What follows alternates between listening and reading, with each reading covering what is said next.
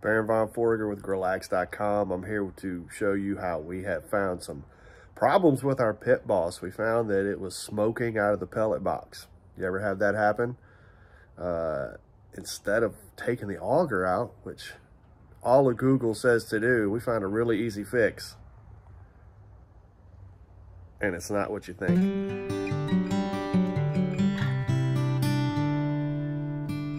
As you can see, this Pit Boss pellet pot, it is totally rusted out, probably eight years old, lived its life, ran its course, but it's done. Now all we have to do is remove these four screws that came with it.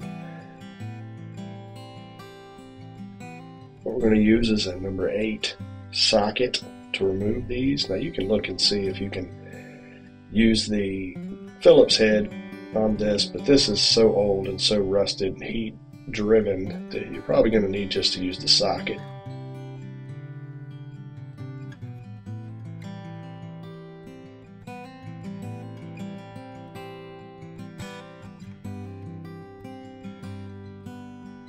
And once you get this these screws removed, you're going to want to pull the pot and find your igniter. You'll see that the igniter goes back toward the control box under your pellet hopper. As you can see, it's held here with a, a locking screw. So you're going to want to remove that screw and then remove your igniter from the pot. Take the pot out. As you can see, this one is this one is pretty worn.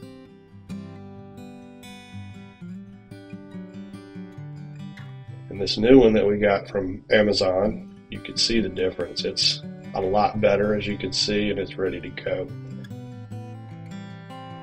So how we're going to do this is we're going to get a piece of string, we're going to tie it to the old one, the old igniter, and we're going to pull that through once we get down under by the control panel.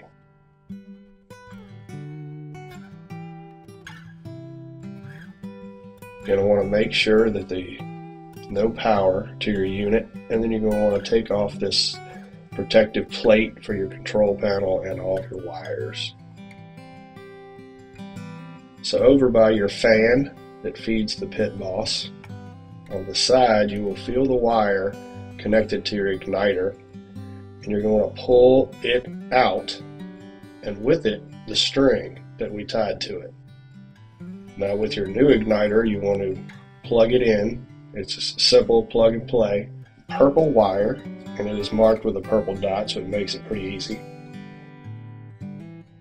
So go to the front, up to the top, and just pull your string. You'll pull the new igniter through nice and easy.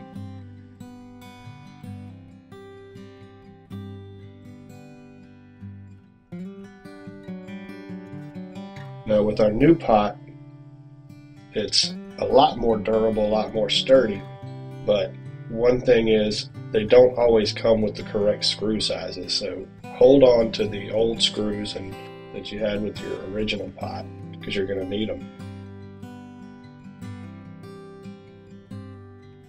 So once you get your new igniter locked onto your new pot, you're going to want to look into your auger tunnel here because that's where we had the problem. You're going to want to get all those pellets and ash out of there before you put the new pot in.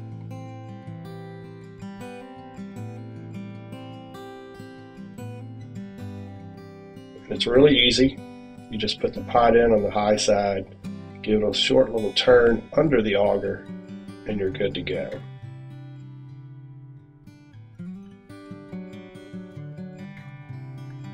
And as you can see, your igniter needs to be out about eighth of an inch or a little more.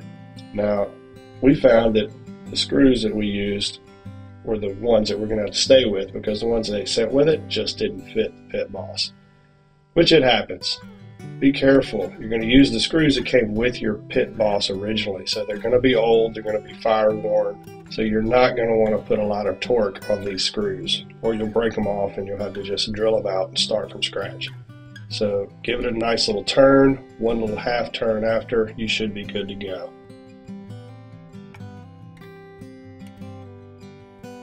Now once everything's in place, you got your control panel put on, you're going to want to burn off that oil from manufacturing. I set it to high heat just to burn everything off.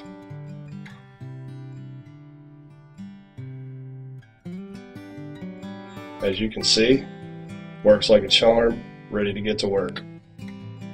Hope this helps.